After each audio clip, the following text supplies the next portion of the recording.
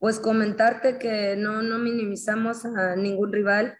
Me parece que durante el encuentro eh, el equipo de Surinam nos dio problemas. De hecho, este, vamos a trabajar para poder seguir generando más opciones, de poder eh, romper esa línea de presión baja para que de verdad podamos tener mejores asociaciones y poder tener una mejor finalización en esa zona 3, pero este no, para nada minimizamos el trabajo de ningún equipo, son equipos al igual que nosotros que estamos en desarrollo y tenemos que enfrentarlos con todo el respeto y con el 100% de lo que tenemos hasta este momento como equipo. Bueno, primero quiero felicitar a todas las jugadoras ya que eh, de verdad entraron a hacer lo que se ha practicado.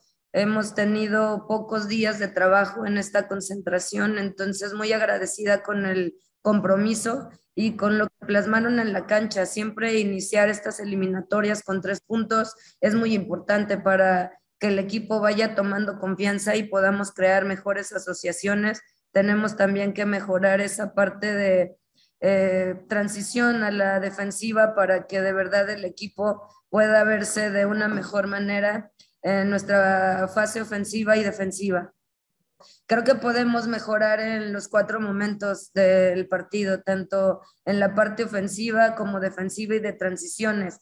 Eh, la verdad que se dificultan mucho este tipo de partidos cuando no encontramos los espacios en esa zona 3 para poder eh, tener progresiones más claras. Entonces son cosas que vamos a trabajar, pero también para tener una muy buena marca en ataque para que no tengamos ninguna sorpresa en nuestra parte defensiva. Entonces, todavía mucho trabajo por este por mejorar, pero como les repito, el tener los primeros tres puntos eh, genera mucha confianza y eh, toda nuestra afición, nuestro país está viendo ese compromiso de nuestra selección, de nuestras jugadoras, para que podamos poner el fútbol femenil de nuestro país en otro nivel. Es algo que estamos construyendo, como les repito, todavía tenemos mucho por trabajar, pero es un buen comienzo. Estoy muy orgullosa de las jugadoras y sé que todavía vamos a mejorar muchísimo más.